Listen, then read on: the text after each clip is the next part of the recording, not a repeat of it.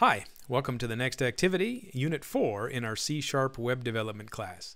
In this, we're going to talk about Ajax as our main theme. So there's several things that we're going to accomplish in our activities. First of all, we're going to have a basic understanding of what Ajax is apart from anything with C-Sharp. So Ajax is not a language, it's a technique that uses JavaScript to update a certain portion of a web page so that way you don't have to refresh the entire browser every time somebody clicks a button. And so in this case, we're going to add a new song to a list. As you can see, we have a data entry form. You're going to type in the artist and title, and the pink area where the title and the artist are listed is automatically going to grow. It's going to append it. And the uh, entire page will just stay on the, uh, on the web page as normal. So just one little bar of information will appear. So that's an example of adding something with Ajax. Then we're going to go back into Visual Studio and program in C Sharp using Ajax as well.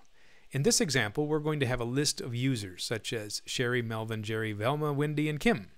When we click one of these radio buttons, the section below is going to have some data. And the data is going to look like this.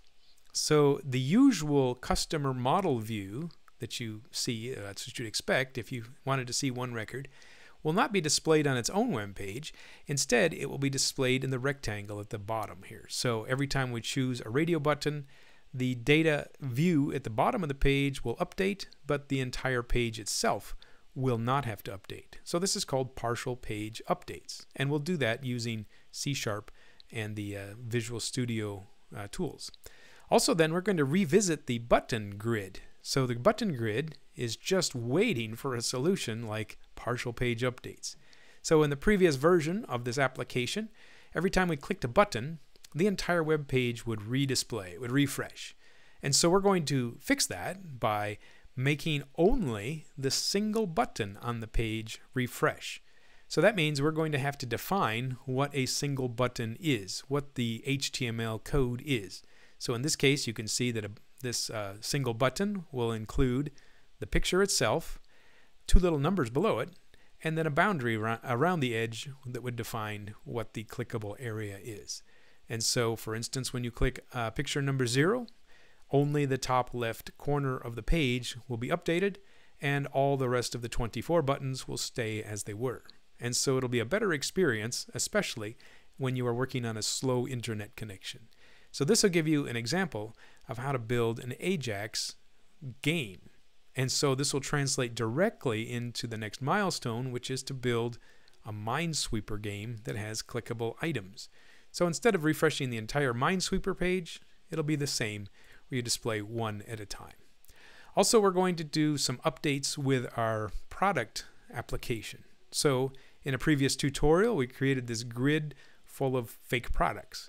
And you can see now that I've added an edit button, the yellow button there.